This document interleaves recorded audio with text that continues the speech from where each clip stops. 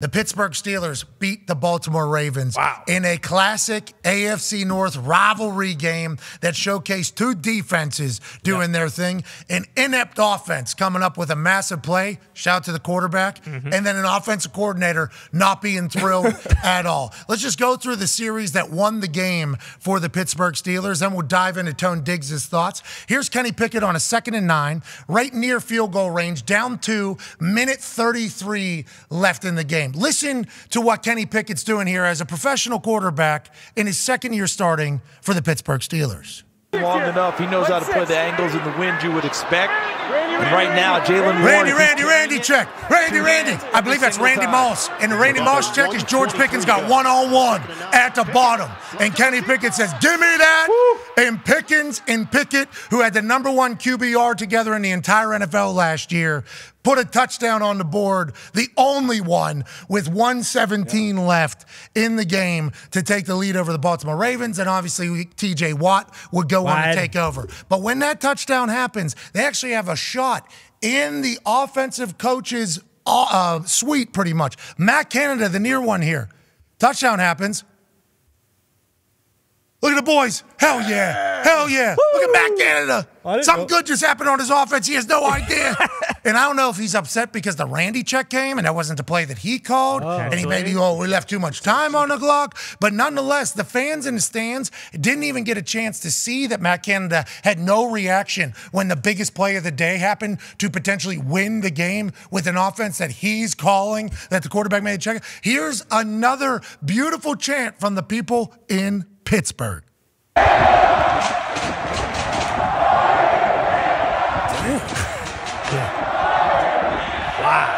Yeah, they're not talking about the country. No. No, they're No, talking no. about that Matt Canada guy. Tone, you guys get a big time win. Yep. And here's a fun stat here from Hembo. Sounds like it's gonna be fun. Uh, hold on, hold on. always Let me get to it. Let me get to it. It's something about like the Pittsburgh Steelers only have been outscored by 31 points, outgained by like 300 and some yards in some other stat, and they're still three and two somehow. yeah. Like this is what the Pittsburgh Steelers do. But what did you see yesterday that makes you believe that this Steelers could potentially win? Or what did you see yesterday that makes you believe that this Pittsburgh Steelers is the same Pittsburgh Steelers that are just going to be ah and be able to steal games? at Yeah, so them going on the road last week and getting blown out as road favorites against the Texans, then coming back and winning as dogs against the Ravens at home in Acrisure is one of the most predictable things of all time with this team because that's how it's been the last few years. Um, to be honest, Pat, nothing that I saw yesterday made me believe that anything is going to change for the rest of the season Oh, good. or be any good until Ooh, okay. until the Randy Randy call, okay, happened. And then if we're gonna do in the fourth quarter where Ben Ben did it, where his he Ah, couldn't, can't. can't- couldn't hear anymore, and Can't. if we're gonna do. And the thing is, the last last season when they went six and two or whatever it was down the stretch, Kenny was always really really good in the fourth quarter. So like as a coaching staff, as a team, maybe figure out what they do so well in the fourth quarter to come back and win games. That for the first three quarters when they are abysmal is different because oh, another game under 300 yards. Well, Let's not even don't even that 400 yard stat. That's not a real thing. That's Not never, possible. That's never gonna happen ever again. Let's just try to get 300 potential, potentially. But yes, Highsmith had 11 pressures, which I believe is the most Insane. by a single player uh, in a game this season. Uh, TJ had a, a, a sack. He had a huge punch to the face of, of Zay, Zay Flowers, That was cool. tackle. Jo- Joey Porter Jr. gets on the field. Oh, he has an interception that basically is the turning point in the game because they score there. That's game over. Um, yeah, I mean there was a lot of there was a lot of good, but there was also a lot of the same same bad yesterday. Here's the stat that Hembo gave me before we pivot to some breaking news from Adam Schefter. Pittsburgh had been outscored by 31 points this year, outgained by 606 yards. Oh. And they're still 3 and 2. Hell That's yeah. Pittsburgh Steelers football. That's Pittsburgh Steelers football. Hey, Randy, Randy though. Great Protection call. check. All out pressure, slide it to the right, pick it up, and that defense, you got to send pressure there because you're right on that fringe field goal area. So you got to send pressure. Marlon Humphrey, you got to know that fade ball is coming. Uh, this is from Connor Speed at Connor Speed six. Hashtag I don't want to overreact, but, the AFC North is dead. Whoa. When the Pittsburgh Steelers are in first place with Matt Canada at the helm of the worst offense in NFL history, you can go ahead and just bury the entire division. We all fucking stink. I love that. Jeez. I love that. I don't necessarily disagree. Well, Bengals are finally back. No, Yeah, Joey they- B and Ja'Marr stink. Chase Bengals found got it. Oh, you congrats! You did it against every- what everyone said would be the worst team in the NFL. Whoa. What everyone said is not the outcome of what it actually is. Well, their is. defense still stinks. The Cards have put it on a lot of people this mm-hmm. year. They And have. the Bengals were able to show up and show out. Ja'Marr Chase, all the way back, AJ. I assume him saying, I'm always fucking open was a nice reminder to Zac Taylor. Oh, we should draw up plays for this guy. And then Joey B's able to find him miraculously more often than he has all season. I love what these guys did yesterday. I'm thankful that they're back in the world of sport being great again.